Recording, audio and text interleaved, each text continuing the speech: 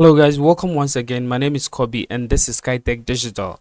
Now, um, in this episode of uh, providing you with great content about Elementor Pro, we're going to talk about portfolio, how we can be able to, um, you know, create a portfolio for our website. Now, um, the last episode that we did, we talked about how we can be able to insert posts in our website, how we can also be able to, you know, create um, a loop carousel and then how we can be also be able to create a loop grid. Now we've talked about the three of them the first three of the elementor pro widgets. Now we're going to talk about the fourth one which is the portfolio widget okay? So portfolio widget. Now with the portfolio widget um as you can see that is the fourth one over here. So this one over here. So and what we're going to do is um, of course i've created my title already I've also created my um, one container over here, Flexbox container over here. Now what I'm going to do is I'm going to just drag in this portfolio into the Flexbox container. Okay, so um, I will just drag in this one over here. I'm just going to drag it in. Okay, and then we're going to see how it all it will all turn out. So as you can see, um, what it does is it pull out, uh, it will pull in, um, you know, um, pictures from our post okay into the portfolio. So basically if you look at the portfolio layout over here now let's go to the query where the the the pictures are pulling from. So you're going to see that the pictures the source is going to be what? Our post over here. Now of course you can decide to create your own um, you can use pages you can use um, landing pages you can use you know manual selection or you can even use um, current query or related what query okay? But we are going to use post because um first of all your portfolio is more or less like you know your your you create different different posts talking about your um the projects that you've what you've done okay? So it can be um you know custom post and other stuff that you what you you use it to create your portfolio. So um, that is what we are going to talk about. So we are assuming that our posts are our various um, portfolio that we have what we have already created. Now if you hover on this one you're going to see that we have um, you know um, the title of the post or the uh, project on it over here and then the same applies to this particular one. The same applies to all of them. But you can you can style it. You can make it unique. You can make it the way you want it okay? So first of all what i want to do is i want to go to um, the the column edit the column over here. Click on um, this um, six dots over here to edit the the container okay? And then go to it advanced over here. And i'm going to, i want to make um you know create a padding for it. So I'm going to go over here and then make it, um, you know, 80, um, 50 all around, 50 pixel all around. Okay, so that um, is is going to have a breathing space over here. Now I'm going to just select the portfolio over here, and then I'll go to the columns over here. Now you can decide to, you know, um, choose from one to as many columns as you want, maybe as six or so. But I want to make it like a two column portfolio just like this one over here okay? So the number of um, number per page you can decide to what? You can decide to uh, make it either six eight or each other way you want. It depends on you okay? And then the image resolution also you can choose between um, the various resolution over here okay? But i'm going to leave it at the medium over here. And then you can decide to make it masonry or not and then the item ratio also you can decide to um, increase it or decrease it depends on you okay? So as you can see this is how it looks like okay? But 0.66 is quite okay. And then you can decide to also show title. Now show title means that when i hover on it the title is going to be over here okay? And that is when that is it. Now the query i've already talked about it where you want to um, the post the source where you want the post to be from. If you want to include or exclude you can use this place to do that. Um, the date if you want to sort by you know where how you want to sort by date um, either um, you want to order also you know how you want to order it you can also um, you know use it.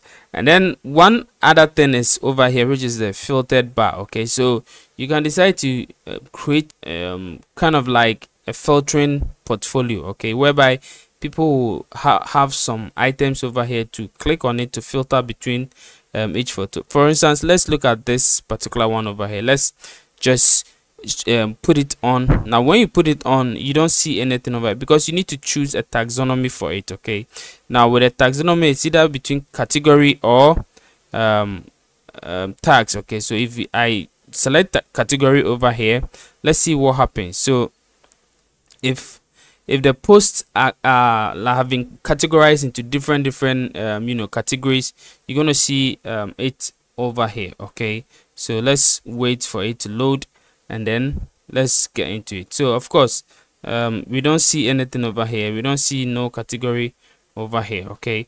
But let's go to tags and see because i think the post is in just one category and that is why okay so as you can see we have the podcast and then all over here okay? But i want different different um you know um filtering okay? So for instance so if i click on tags over here i'm going to see so many filtering options that i'll i'll get on this particular portfolio um over here. So let's wait and see let it load and see um you know. Sorry for the delay guys. My internet is really really bad today. I don't know why. I don't know why it's behaving this way but that is it. So i'm just going to hold on and then see how um it comes out with all right guys. So as you can see over here we can see our you know tags over here. So we have creative we have digital pr we have pr we have pinterest we have ceo and SEO and then we have what? Strategy okay? So as you can see you can filter between all these tags over here. So if I want to choose maybe creative um this is how it's gonna be like. So only the creative word will show. If I want to go to digital PR and there is a digital PR it will show. But as of now um, I think here this one is over here and then if you go to what PR also um, if there is a PR, it's also going to what? It's also going to show. Okay. If you go to Pinterest also, if there is a Pinterest, you know, post over here or project over here, it's going to it's going to show for us. If you choose um, SEO, if there is a you know an SEO post, oh, it's also going to show over here. If you choose strategy, there is a strategy post, it's also going what? It's also going to show over here. So basically, that is what that is how the the whole um, filtering thing looks like okay now let's decide to style the the whole um, the whole portfolio itself so we're gonna go to style over here and then um, we will style it one after the other. So first of all the items. So if you want to give a breathing space for each of the items you can of course do so. So you can give um you know a column gap and then a row gap also. So i'm just going to give it 25 25 for column and then for row also. So as you can see this is how it's gonna look like okay very perfect. Now the item overlay also you can what? You can decide. Now of course if you want a border radius you can also do so.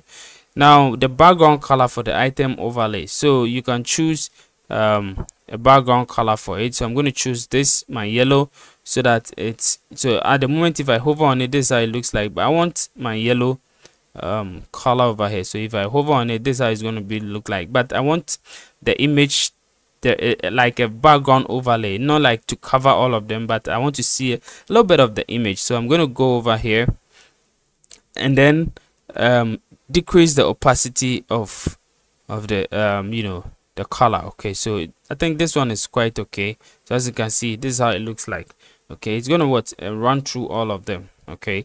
And then the the color the color also that is the text color right? I'm going to choose um, black over here okay. Now of course if you want to reduce the size of this um, this text you can do so. When you go over here you can even change the, the typography size and everything. You can do so. But if i want to um you know ch change the size over here i can go ahead and then make it like an 18 okay? So if i hover on it you see that it's going to be what? A little bit smaller okay? Of course i can decide to make it like let's say 22 okay so let me make it like 22 and see how it looks like. Okay so this is how it's to be like okay? So basically this is what this is quite okay. Now you can even increase uh, decrease the uh, or reduce the size of the the line height. So i'm going to make it um, em over here. So i'm going to scroll up change it to em and then make it 1.3 em all right so um i think everything is quite okay for me. Then the next one is the filtering okay? So um the filtering the filtering. Let's go up over here. This is the filtering also.